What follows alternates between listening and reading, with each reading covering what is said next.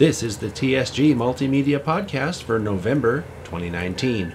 We're sponsored this month by Podomatic, TrainLife.com, and the TSG Train Crew on Patreon. Thank you very much. I'm your host, John Abaticola.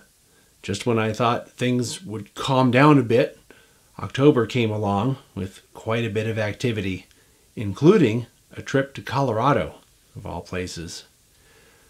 Real quick, uh, before I get to that, I just want to say if you've been thinking about signing up on Patreon to support the channel, this is a great time to do it.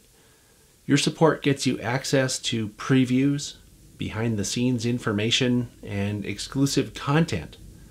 I think there's value in promoting model railroading and preserving history, and your support helps make that happen. There's something else about Patreon that I really want to, to mention to you. After seeing some comments that were posted to the YouTube videos that were basically complaining about the amount of ads shown, I decided to sit down and I watched the channel myself for a while a few days ago. I don't usually do this because I simply don't have the time to watch. Well, I was kind of surprised at how many ads showed up. Now, ads on YouTube are kind of a blessing and a curse at the same time. The revenue they generate, well, not terribly impressive, helps keep the lights on here, but I have literally no control over which advertisers place ads on the videos. So, one of my long term goals is to turn off the ads so that everyone can watch the videos without interruption. This is really important to me because the only control I have is to turn the ads on or off. Once our Patreon support reaches a sufficient level, I'll turn off the YouTube ads completely. Ironically, the people who complain about the ads are not Patreon supporters. So here's the point you can do something about the ads. You can support the channel for as little as two bucks a month. That's only about seven cents a day. As a matter of fact, in the time that it takes someone to post a comment complaining about the ads, you could just as easily sign up as a supporter to help make the ads go away. So, the point to this story is just that. If you like the content here but don't like the ads, go over to patreon.com slash TSG Multimedia and become part of the TSG train crew. Every support level comes with some kind of reward, and every penny contributed goes toward the production of the content that you enjoy. You can even sign up for a custom amount if you scroll all the way down to the bottom of the page where you can choose your support level I mean, it's all the way at the bottom. It's a custom amount. It's easy. It doesn't cost much, and it helps everyone. So now on to some of the things that I've been up to for the past 30 days or so. So on October 5th, we went to the Sonora area for an event called Op Till You Drop. This is a series of operating sessions on John Zock's Sierra 1955 layout and Steve Hayes' Western Pacific layout. You can see layout tours of both of these layouts right here on the channel. So what they do is invite a bunch of people up for the entire weekend for several operating sessions on both layouts. When I got the invitation this year, I thought it would be cool to document it for the channel. Even though it's by invitation only, it's still a great example of what operating sessions are all about. And a video about it is coming to the channel in the near future. I want to thank Steve and John for the invitation and also all the operators who went on camera to talk about what they like about it and what they were doing at the op sessions. The next day, we went to the Amador County Model Railroad Museum. This is a somewhat smallish layout, and one of the really cool aspects of it is that they have a lot of young members. I want to thank Mike and Nick for the invitation and also Graham, who happens to be a member at the SBHRS too, for appearing on the layout tour. It should end up being a good one, and it's most likely going to come out early next year. So, uh, unless you're new to the channel, you might have noticed that I seem to talk about youth in the hobby quite a bit, like I just did a second ago when I told you about Graham. I didn't even realize that I do this, but apparently other people did, And one of those people was the director of the Colorado Model Railroad Museum, Michelle Kempema. I met Michelle at the NMRA National Convention last July.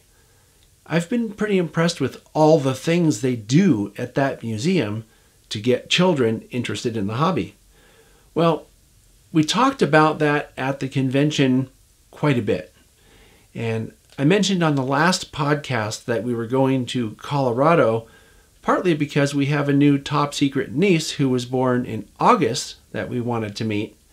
Well, I was also invited by Michelle to an event that was being held in Greeley, where the museum is, and this event was called Tracks to Success. More about that in just a minute. I want to tell you about the trip before the the seminar first. So we arrived in Denver on the 15th and then on the 16th, Michelle was nice enough to take us to Cheyenne, Wyoming, which is only about an hour away, where she introduced us to her friend Mike Panel, who's involved with a lot of restoration projects on historic railroad equipment. The first one we got to see was on display in a park. It was the UP 4004 Big Boy locomotive. Mike went on camera to talk about the restoration project and showed us some really cool stuff around and actually in the locomotive.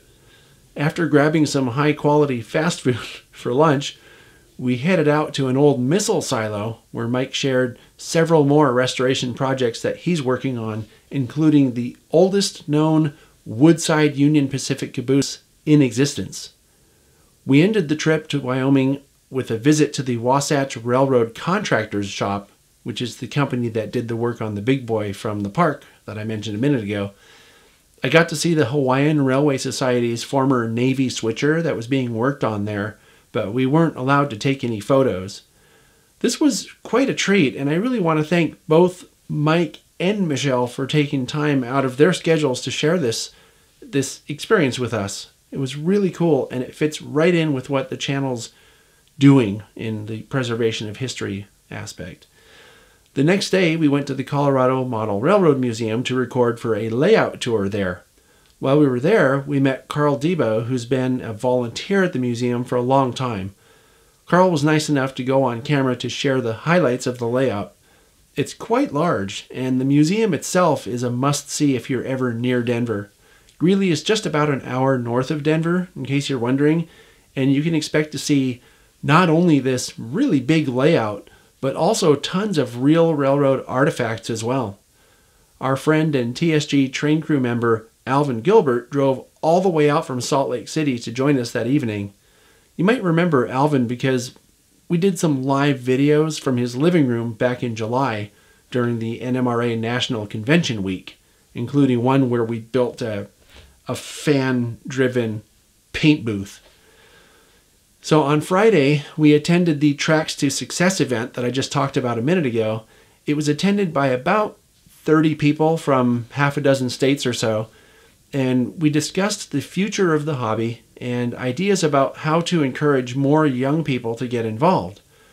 The ultimate goal of this movement is to create what we're calling a scalable program or series of programs that can be implemented by organizations really of any size to provide kids the opportunity to experience what scale modeling has to offer. So I, I think it's an excellent goal. And I also think that providing complete programs like this will help organizations all over the country and maybe all over the world to encourage young people to get interested in the hobby. And I think that's good for the kids and it's also good for the hobby as well. So I'm pretty excited about that. Saturday was pretty fun also. Alvin, Sydney, and Michelle and I went on a short trip down to Denver to check out some of the train stuff around the area. Of course, I had the cameras rolling, so you can expect to see an episode of Chasing Trains from that day on the channel sometime soon. We looked at some rail yards from overpasses, and we also went to a place I'd never been to, the Forney Transportation Museum, and we also went to the Colorado Railroad Museum in Golden. Like I said before, I'd never been to the Forney Museum, but now that I've been there, I can tell you that you also have to see this place. They have hundreds of unusual cars, trucks, motorcycles, aircraft, and, and railroad equipment too, including the 4005, yet another big boy that's on static display there in the museum. I've been to the Railroad Museum in Golden before and really liked it, so it was great to return, and it was especially great to watch how much Alvin enjoyed it. At the end of the day, we parted ways. Alvin ended up going down to Durango to go hang out with George Brogatuk, and the next day, and then we went to Estes Park to hang out with our in laws. The rest of this trip was spent for us in and around Estes Park with relatives, like I said before. And I have to thank Michelle for the invitation and for taking as much time out of her schedule as she did to help make our visit really great. And also, I want to thank Alvin, who's always up for whatever. He even drove over a thousand miles on his trip to come hang out with his friends. And what a great time it was. Super uh, great highlight of the year that uh, I'm sure we'll all remember for a long time. Last Saturday, I volunteered at Ardenwood for the SPCRR's Haunted Train event. The SPCRR is the same group that puts on the rail fair event at Ardenwood that I've talked about on the channel before. I helped by working the ticket office with Jack, and then I recorded the train ride for future training use by the group. We had our second TSG Live Crew Lounge stream on Sunday from the SBHRS. That was this past Sunday. It was a discussion about prototype, protolance, and freelance approaches to model railroading. If you missed it, don't worry, because the live streams that we do are viewable anytime after the event as well.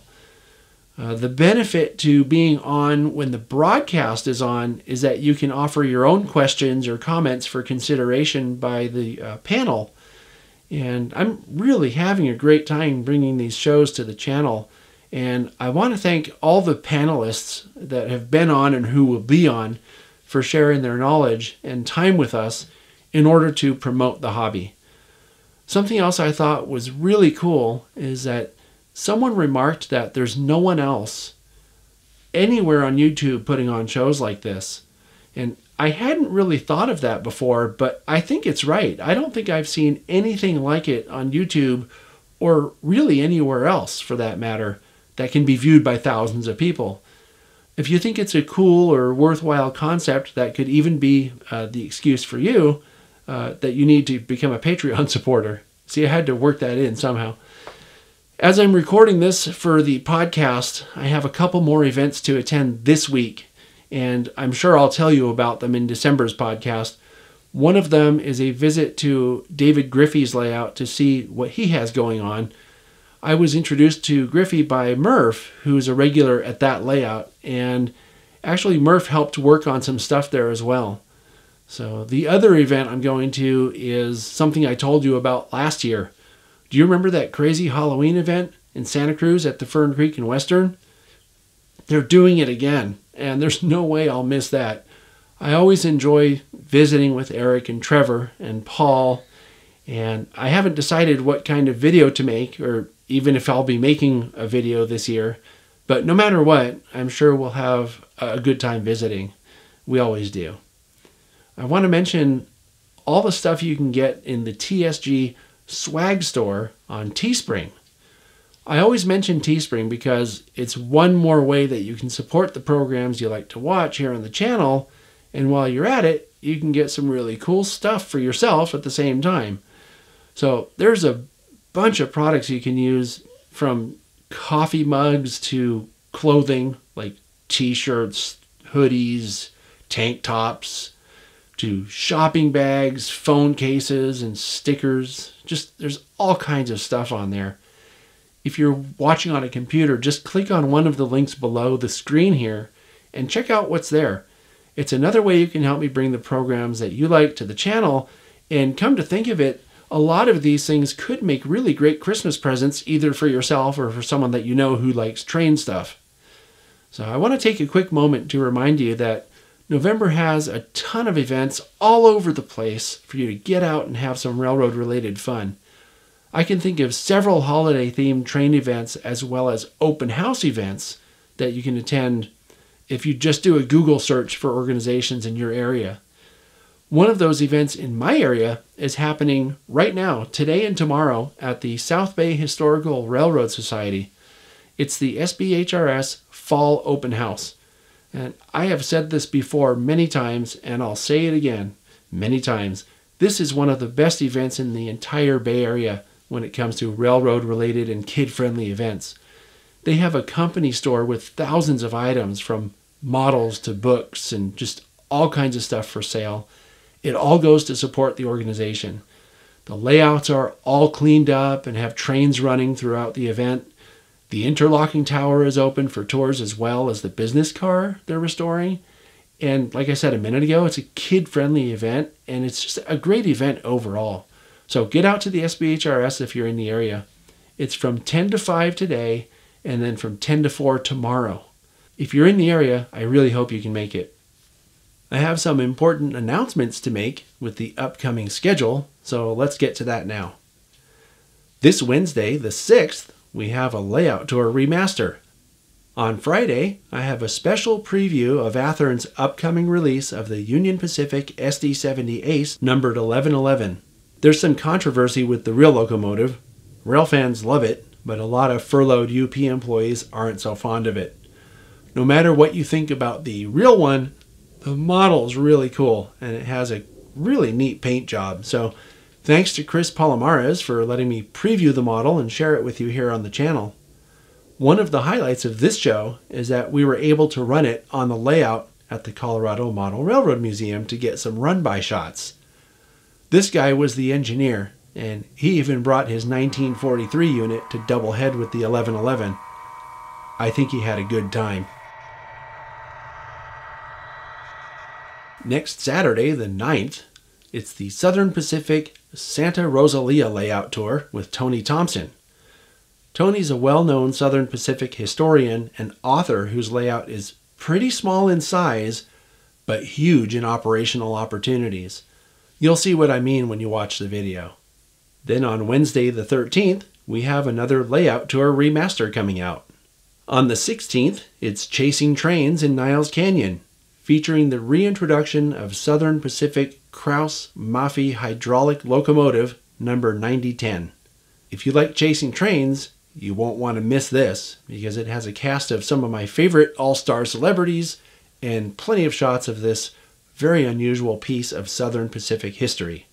On Sunday the 17th, it's the next installment of TSG Live Crew Lounge.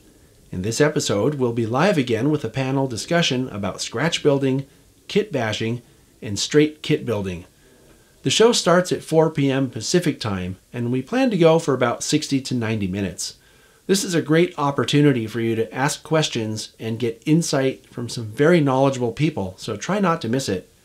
If you enjoy these live shows, share them with your friends. Having as many live viewers, likes, and conversation in the live chat window helps to make it more visible on YouTube. And if you missed the show, don't worry. The goal is to share information, and whether it's viewed live or later, that information will still be there for you. On Saturday, the 23rd, it's a how to video about weathering with acrylics. This show features Jason Hill of Owl Mountain Models. Jason's another one of these guys who, yeah, he runs a manufacturing company and sells models, but he's also a hardcore modeler. He even has a blog about modeling.